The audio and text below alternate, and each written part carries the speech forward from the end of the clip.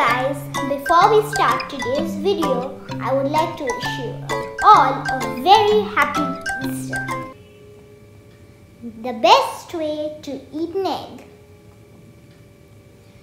It was the year 1887 and the day before Easter.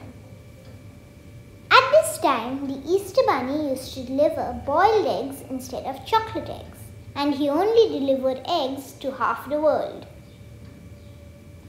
The Easter Bunny was at home, but he was ill. So he called everyone he knew to deliver the eggs.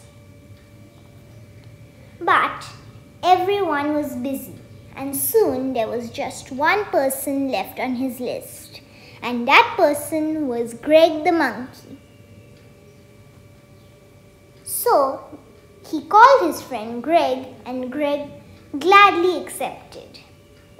Greg ran to the Easter Bunny's house. The Easter Bunny told him to go to the shop to buy some paint and eggs. So, the monkey went to the shop to buy the needed supplies. But on the way home, the eggs broke and the paint spilled. So, he went back to the shop. But they said that the eggs were out of stock and there was only edible paint. Greg was a pastry chef and he had a sweet idea. So he bought some chocolate and the edible paint. Once he got home, the Easter Bunny told him to go to the kitchen, boil the eggs, and then paint them. So Greg went to the kitchen but used his own technique. I cannot tell you the technique because this is private Easter Bunny information.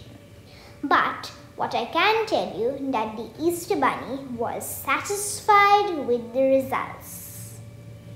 But he didn't know that they were chocolate eggs.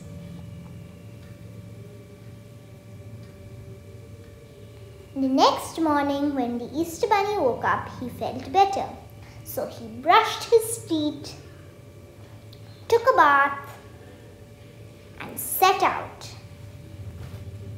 First, he went to the Paul's house, then to the Chakraborty's house, then to the Bhattacharya's house. Soon he was done.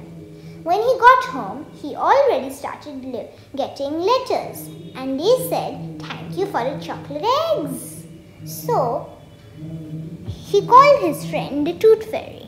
The Tooth Fairy said, But the children love the eggs and your business has gone through the roof.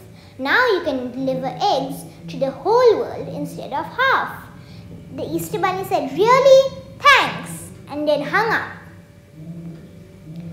So the Easter Bunny hired Greg, and from then on, all the generations of Easter Bunnies started making chocolate eggs. Thanks for watching.